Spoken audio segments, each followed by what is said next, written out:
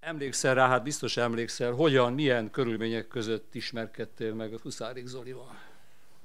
Valószínűleg tartom, hogy verekedés közben történt ez. Tudnélék, De nem a filmgyárban. nem, jóval korábban. Iklad Domony közös vasútállomás volt, én az Iklad nevű faluba laktam, Zoli pedig a Domany nevezetű faluba. Most a két falu között folyt a galga. És nyáron, hogy fürödni tudjunk, mi erre kezdtettük a galgát, és a csaták azért folytak, hogy kibirtokolja a galgát, az ikladiak vagy a domagyiak. Na ez váltakozva történt. Többnyire mi birtokoltuk a folyót, mert a vasútvonal az a mi területünkön ment. Tehát a domonyiak csak azokkal a kövekkel tudtak ellenünk harcolni, amit mi átdobtunk már egyszer, és ők megkeresték a fűbe. Tehát így váltakozva folyt itt a hadi, hadi szerencse, de ezek, ez véresen komoly volt. Egyszer emlékszem, hogy én kimentem, mert időnként na, na, szövetségre is léptünk, szóval békeszünet is volt, amikor a, volt, hogy a gátat közösen építettük. És egy ilyen alkalommal két domonyi fiú később jött, és látták, hogy én ott szorgoskodom a gáton, mint az ikladiak alvezére, és paritjából, egy jó közelről, 4-5 méterről úgy hókon vágtak, ahogy mondani szokás, hogy, hogy én azt hittem, hogy ilyen hullámos a föld, és hol úgy léptem, mintha magasra kéne lépni, hol úgy, mintha mélyre kéne. Ez egy, egy kis rendes agyrázkódást kaptam, tehát ez komoly volt. Na, úgyhogy az ismeretség innét, innét van. Erős kezdés.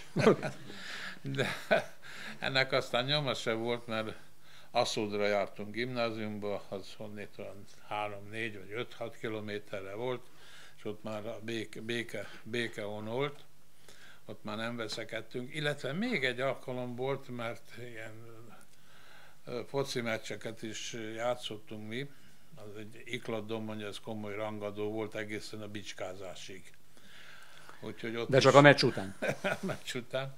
Ott is összekerültünk, mert Zoli a maga furcsa járásával és, és balkezességével, ami elődjére válmennek, kiválóan rajzolt balkézzel, mint jó néhány festő. Balszélsőt játszott, én pedig jobb hátvétel, jobb bekket, ahogy akkor hát mondták. Akkor, akkor szembe találkoztatok szembe, egymással. Szembe találkoztunk. De hát a gimnáziumban már, mint mondottam, ott a barátságban éltünk. És akkor egy hosszabb, rövidebb szünet, és a filmgyárban, a filmgyártásban hogyan találkoztatok össze? Hát úgy találkoztunk, hogy, hogy én már nagyon untam a, a középiskolát, és hatodikos, akkor még nyolc gimnázium volt, hatodikos gimnazista koromban olvastam egy újságpapír fecnén, hogy a Színház és Filmművészeti Főiskolára szakérettségével is lehet jelentkezni. Ez a szakérettsége azt jelentette, hogy ha nem volt meg az embernek az érettségi bizonyítványa, az egyetemi tanulmányai mellett leérettségizhetett. És én gondoltam, hogy két évet nyerek ebben ezzel, és, és az is, hát én nem, nem sokat tudtam arról, hogy mi az, hogy filmrendező, mert pláne, hogy mi az, hogy valami operatőr, gondoltam, az valamilyen szakmaszerűség, de azt már tudtam, hogy, hogy Huszárik Zoli barátom, az, mert ő föl, fölöttem járt két évvel, az bekerült a főiskolára, és egy másik domonyi fiú, Podlavicki Pali, ő pedig színésznek. Hát ez adott bátorságot mondván, hogy ha őket fölvették, talán engem is fölvesznek. Tehát erre nem került sor, mert ez a papír már lejárt, mert ha jelentkezik, a határidő, a felvétel is régen jár, lejárt, úgyhogy akkor nem találkoztunk. Nos, Zoli nagyon tehetséges ember volt, ö, osztályában az a legtehetségesebb, hát ez főleg később ki is egyértelműen kiderült. És a főiskolán mindenféle úgynevezett rostavizsga van. Tehát ha valakit oda fölvesznek, az még nem jelent semmit. Mi is például annak idején, tudom, 600 valahány jelentkező volt operatőr, csak operatőrnek, fölvettek 10 embert ebből, és mi első év végére maradtunk hárman, és aztán mi végeztünk is. Nos, Elárulod a másik két nevet, hogy kik voltak azok? Sík Igor volt az egyik, aki tévéoperatőr lett, a másik az 56-ban elment, az Acél Gyuri barátom, az, az nem, nem, is, nem ismert. Tehát Zolit pedig harmadév végén, és ez már nem igazán szokott előfordulni, hogy harmadév valakit, végén valakit kirostáljanak, de nem is szakmai, hanem politikai okokból történt, mondván, hogy Zoli egy kulák gyerek.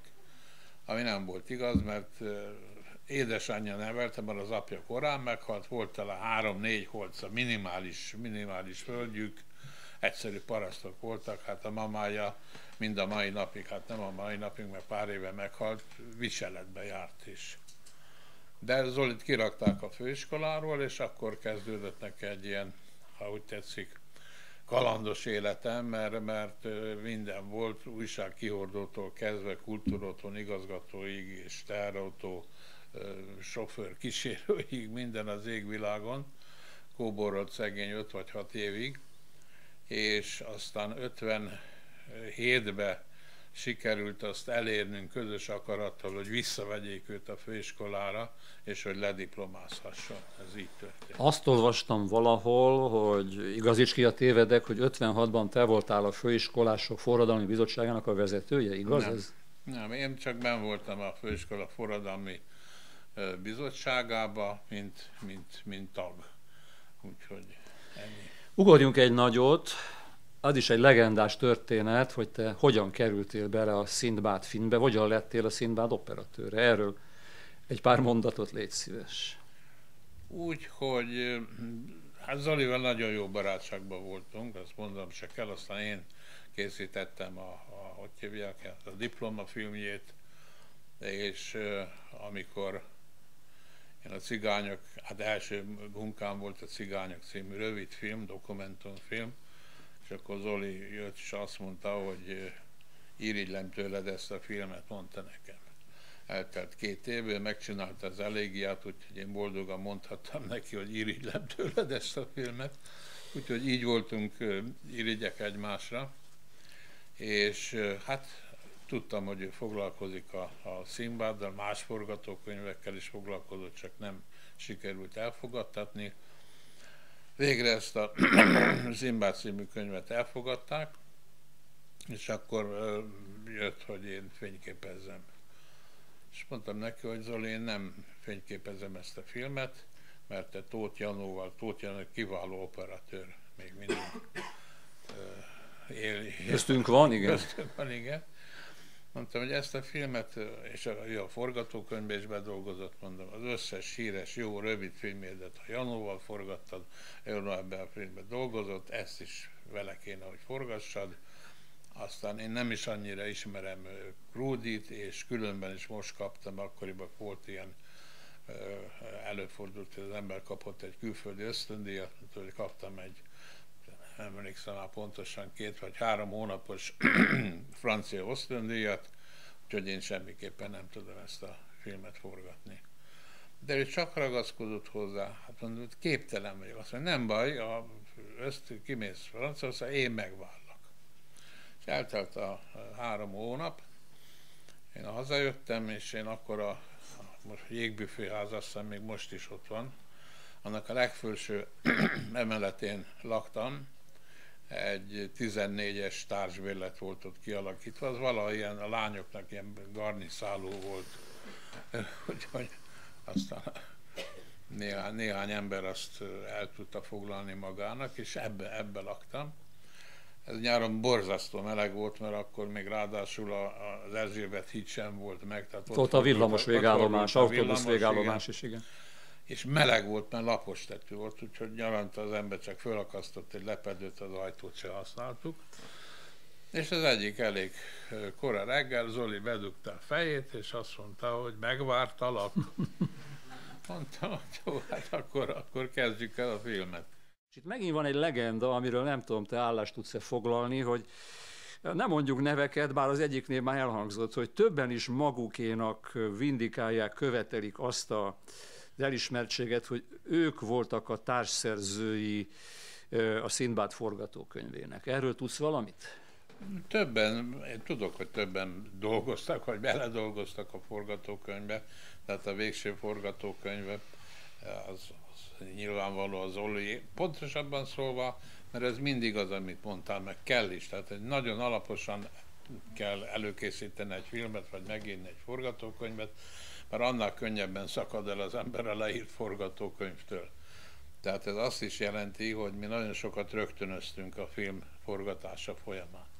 Tehát el, még, még menet közben is megláttunk egy motivumot, egy szép házat, vagy egy fasort, vagy egy utcarészletet, akkor oda próbáltunk rögtönözni egy jelenetet, vagy amit máshová szántunk, azt idehoztuk, tehát ez a forgatás folyamán is alakult, alakult a film.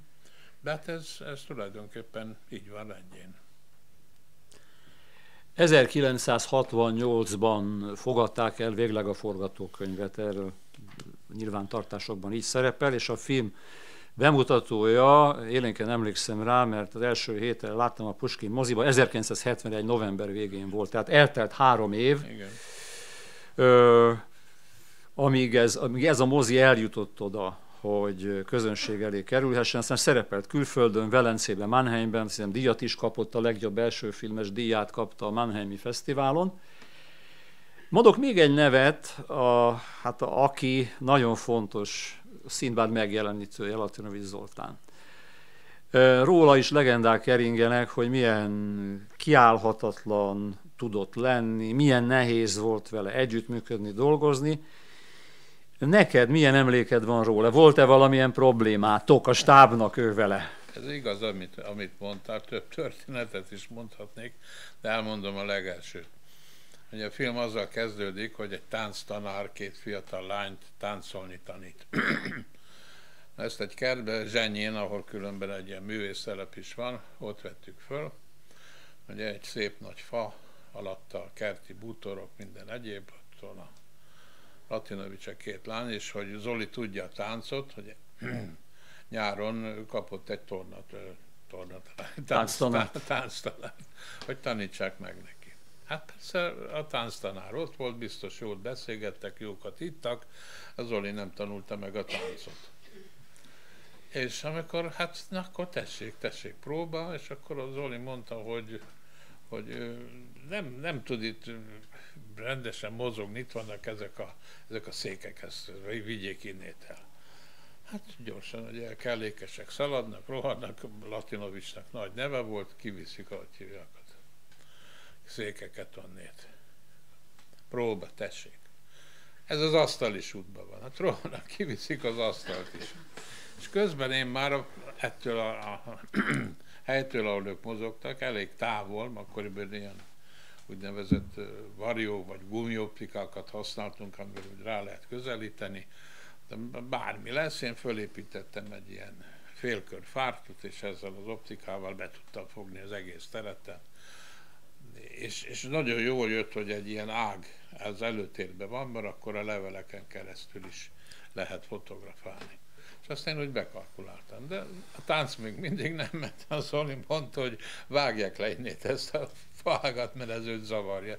Már jöttek volna, hogy az építész ügyelet, hogy levágja, akkor én leszálltam elől a, a kocsiról, és oda ballagtam, ahol ők próbáltak, és mondtam, hogy azt, hogy egy képből mit viszünk ki, vagy oda mit hozunk be, azt itt én mondom meg. Választ nem várva szépen visszasétáltam. Hopp, hát Zoli kicsit megkent. Igaz ugyan, hogy nem sokkal később az autónak a szélvédőjét így összecsavargatta, de hát, hát, Ez volt a bosszú, vagy válasz? Ha a foágat nem sikerült levágni, akkor legalább... Igen. De az egyébként jól, jól megvoltunk, mert hát ez zseniális színész volt. Ugye úgy tudott ifjúból öregi át lényegülni, csak mozgással, vagy egy kis hangmélyítéssel Úgyhogy azt gondolom, hogy, hogy nélküle és Dajka Margit nélkül, és a sok, sok csinos lány vagy színésznő nélkül nem lett volna Szimbád film. Még sokáig beszélgethetnénk itt, akár a teljes vetítésre kerülő filmidőt is, 90 percet, de nem akarok ennyire fárasztani, és végül is a közönség azért jött ide, hogy a Színbádot lássa. Egy utolsó és nagyon fontos kérdés, amit föl szoktam tenni nyilvánosan is, meg baráti szakmai beszélgetésekben mindenkinek, ha ez a film szóba kerül. Egy mondatban röviden, hogy mi a titka?